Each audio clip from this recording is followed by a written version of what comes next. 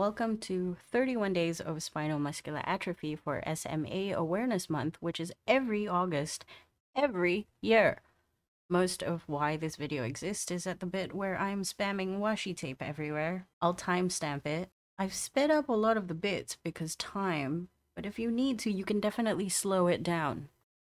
We have to start somewhere, and that somewhere is me folding an A4 sheet to half to find the midline. If you don't want to fold, you can always just measure and mark. I am lazy to math.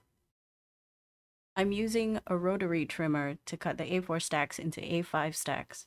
You can use a knife or a pair of scissors, whichever makes your life easier.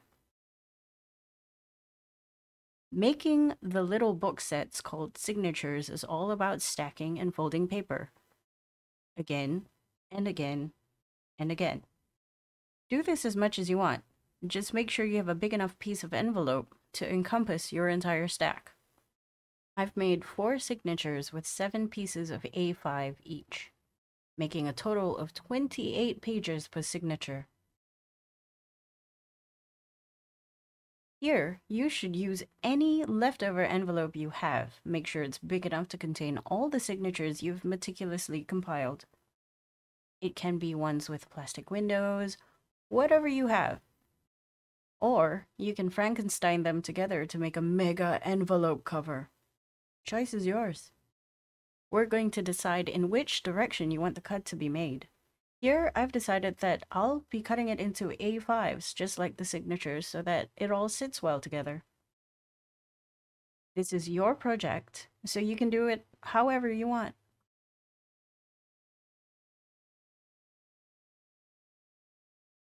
I've been folding these pieces into half again. I'm actually trying to find the center so that I can make some kind of spine so that I can fit all my four signatures inside without it looking kind of weird. You can see that I've taken maybe about one centimeters in total. I'm using my ruler as a pseudo bone folder, also my nail, to make sure it's nice and straight. I do the same for the other side. And just like that, you have a perfectly good 1 cm thick spine. Wonderful. I'm folding it and folding it and folding it using my nail to flatten it because I don't have a bone folder. You don't need to buy so many things if you want to do stuff. Honestly, it's... Look. It fits. Isn't it lovely? It's at this point I realize that yeah, I'm gonna have to do the same thing for the other sheet, otherwise it's not gonna match.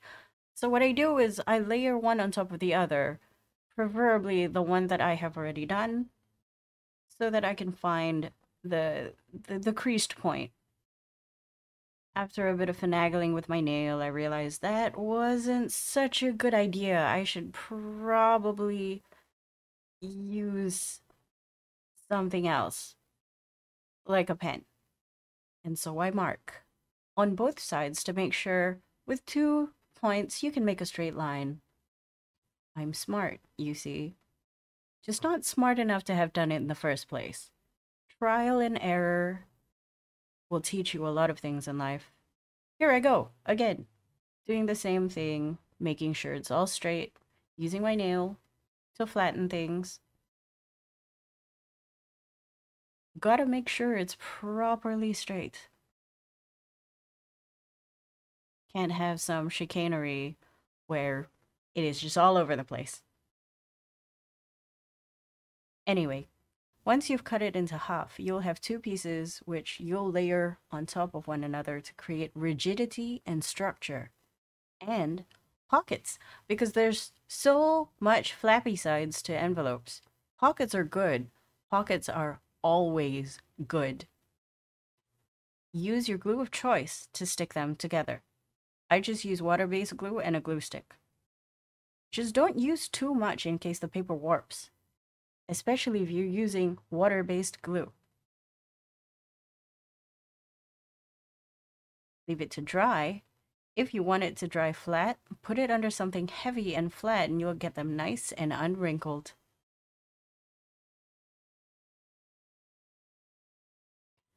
After you're done with the gluing and drying and your paper is, as you've decided, unwrinkled, we can move on to the next part. Measure the spine and divide it by the number of signatures you have made. Again, I remind you I've made four for myself. The lines doesn't have to be perfect, just as equal as you can get them. You can sort of see it in the video. I, I didn't actually show you this, but I thought it should be mentioned anyway. After you're satisfied with the lines, mark three points on it for the saddle stitch binding later. At the same time, make sure you take your signatures and mark those same points on the spine of the signatures for the binding again later. Take whatever needle or pointy object to poke the points that you've marked out earlier for the saddle stitch. You can see me also making the hole wider by just wiggling the needle around so it'll be easier for me to thread later. This is up to you. I needed to do this for myself, but you can leave it if you feel like it, or you can also completely erase the pencil lines that you've drawn. Erase it. Erase it like disability is erased from the media. The lines don't matter now. They've already done their job. Now that you're done erasing the lines, we move on to the saddle stitch binding, which I consider the fun part. Make sure you found a suitable bit of thread. Bought or found, it doesn't matter. I'm using some leftover cross-stitching thread I've saved from once upon a crafting time myself as well as a needle that you feel comfortable using. Please don't stab yourself as there is nothing more uncomfortable than having to sew things with a plaster on. Be careful. What I'm doing is poking the threaded needle into the whitening holes of the signature and cover. I start with going through the inside of the middle hole to the outside, then going down and coming up through the bottom hole going up and out through the topmost hole, and then back again through the middle hole from the outside to the inside. Remember, you're trying to also bind the signatures to the cover. When you're moving back through the middle hole, make sure the needle does not go through the existing thread. This is very important. Please be very careful to make it exit on the other side of where the starting thread is and then tie a knot with the tail of each end of the thread on the spine so that it remains secure. Make a few knots just in case it feels like unraveling anytime soon. Just like our feelings when we are slighted beyond belief by a passerby who thinks our lives or equipment are optional and for fun. They say measure twice, cut once. But for this junk journal, measure once and throw caution to the wind, which is something we can't usually do as a person with spinal muscular atrophy because there's so many things that can go wrong. Call it a way we control the uncontrollable chaos that is our lives. Become ungovernable. I've made maybe a few mistakes, mostly because of the unmeasured way. Ungovernable, remember? that I have made the holes. Yes, they fit. It's fine. They match. But I had forgotten that if you flip the signatures around and don't check, you will get one lopsided bound signature that has no reason being there, other than to be cut out and redone. I redid the binding twice, annoyed at my own mistake and having to blame nobody else but myself. I often take these things as a learning experience. Yes, even junk journals can teach you a few things about patience and the pursuit of perfection, which doesn't exist. Speaking of perfection, though, look at these pretty lines you've sewed and congratulate yourself for a job well done. God, it's so hard. Why do I even do this to myself? the amount of strength needed is insurmountable.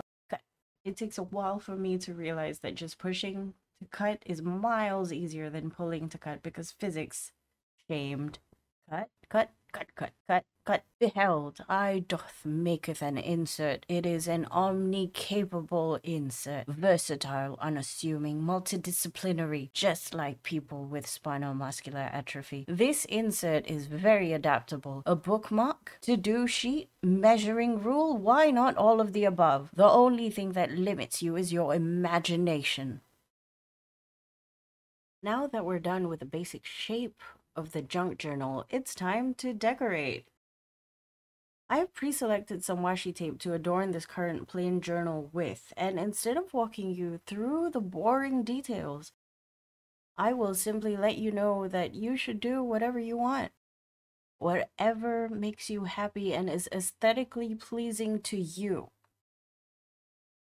But I do have to stress that depending on how your journal is, you may or may not have to reinforce some of the areas so that it can last longer and not tear. Paper is fragile after all, and we must do all we can to protect it. You'll also see me going over creases, sides, and corners a few times to do just that. The idea of making a junk journal spinal muscular atrophy medical book came to me as I was browsing through smacare.org. Just saying that all the stuff on the website is actually super helpful, and if you have spinal muscular atrophy, is a carer for someone with SMA, knows of someone with SMA, or are just curious about the disease and want to understand it better for the future, this is the place to go aside from the Persatuan We Care Journeys Facebook page. I'll be linking all the relevant sites in the doobly-doo below. One of the many useful tools is the My SMA Diary. It's a diary specifically for new parents of children with SMA and should be used alongside their healthcare providers when filling out vital information during hospital visits and follow-ups. The book is in two parts. The first part is a bunch of very important information about spinal muscular atrophy, and the second part is a record of medical information and assessment tools for the child. The SMA diary is in English, but a Bahasa Malaysia translation is available for the first part of the book. This is great if you're a new parent of a child with SMA, but I am not a new parent of a child with SMA I am an adult with spinal muscular atrophy and know a fair bit about the disease already, but I am always open to learning more. There's always gaps in human knowledge, and I am not exempt from it. The more you know, the less you know, you know. You know? What's the opposite of the Dunning Kruger effect? Right. As I was saying, I made this book because aside from the My SMA Diary existing, I had a chat with a medical professional who I will not name and had advised me that we adults should keep records of all our visits in an easy to access place so that we may share it with all our doctors and specialists in whichever hospital they may be at. You know, because we have to go to so many hospitals. Malaysian hospitals, for some reason, are very strange when it comes to patients viewing their own medical records. I had mine taken away from me while I was trying to read it. I personally don't know what they're keeping in there. What secrets do they hide? What eldritch abominations are they trying to summon? Hmm? I had to think about what to include in a medical journal and realized it's not just about the dry and boring stuff relating to the meat suit your spirit resides in, but also your fears and concerns, lifestyle and dietary changes, your mobility equipment, and anything else you use to maintain muscular health, hopes and wishes, advanced care information, emergency information and contact details, allergies, injuries, any medications you're taking, current health issues, and generally things you want to keep in mind before the next visit. A record of, well, you. So I put that in, and I'll show you later how as a surprise exciting reveal. For now, it's a secret. But since I already have my own, mine is less of a junk journal and more a very badly kept bullet journal, which you can turn this into too. There's enough pages for you to do that. This journal in particular is for one lucky you. I'm giving away this particular one. It has my mark on it and it's awaiting yours. The rules of the giveaway are simple. 1. Your address must be in Malaysia, as I will be paying for the shipping of this journal to you. And 2. You must like, comment, and subscribe to the Aitelyu YouTube channel and follow the Aitelyu Twitch channel. Again, I can't keep this handsome journal because I am a journal and notebook hoarder. I have mountains yet to be used, and I am slowly trying to use them all. All. Tangentially, there's probably a few of you wondering why I don't have any background music or ASMR in the video other than my voice. I don't have any background music in this video because I like putting my own playlists when I'm watching crafting videos. You can do the same. Making a junk journal? Totally play Lorna Shore in the background. Just make sure you don't headbang when you're using any sharp instruments or anything that may or may not cause you injury in the headbanging process. This public service announcement is for your personal safety. Smiley face emoji, smiley face emoji, praying hands emoji.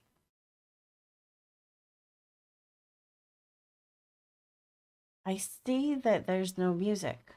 Surprise! There's always exceptions to the rule. Here's elevator music for 68 seconds.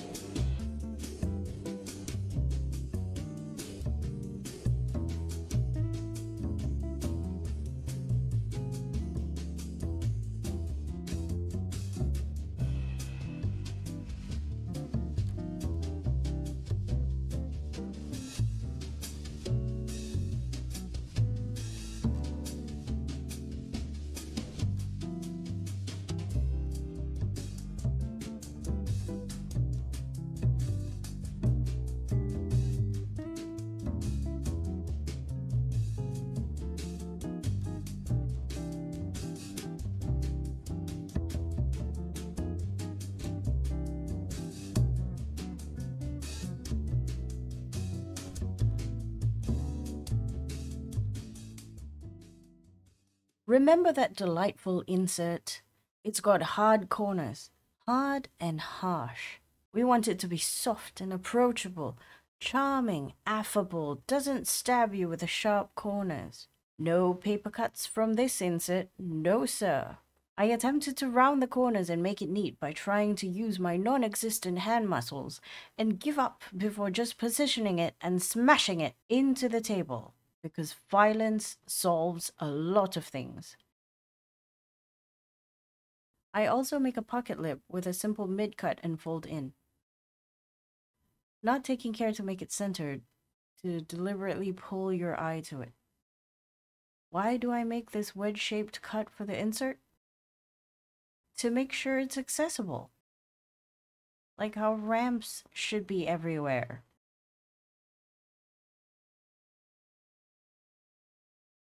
I did some stuff off camera because this video is as long as our attentions are now short. This particular thing is a closure I made out of spare ribbon and things I pulled off old jewelry that went out of style many, many decades ago. Why do I even have these? Crafting makes you keep random things, okay? Don't judge me. My SMA diary you don't have to use this as a diary if you don't want to. Nobody can tell you what to do with your things, and that includes me. If you feel like this junk journal could be put to better use as something else, you can always change the title by slapping on a different sticker to hide it. You do you, boo. I made a little tea lover pocket zone for the first page after the Omni Use Fancy Rounded Corners insert. And the thing I saved as a surprise. I made a sticker pocket out of leftover plastic binders I have and washi tape. Plus, it has all the things I mentioned before for you to arrange wherever you feel like. Here's a sticker of my orange cat Harley and my brown absolute unit Chonker Elo. If you don't like cats, give it to someone who does.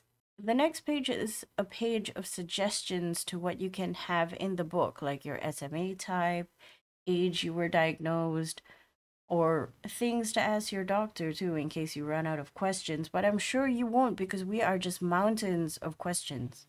And most importantly, for every annual or biannual checkup you do, here are the motor function assessment tools that you can show your doctor so that you can have consistent, repeatable tests to compare year on year. I've only utilized the first few pages as a basic intro to the journal. The rest is yours to decorate as you wish. And pockets. There are an absolute metric ton of secret pockets for you to hide things in, like photographs of your spine x rays, on the last page is the website for SMA Care and a phone number you can contact them at. There it is. That's it. That's the journal. Remember the giveaway rules if you're keen on taking this journal with you, and I hope this was a helpful tutorial to show you how you can make your own too. Thank you so much for watching.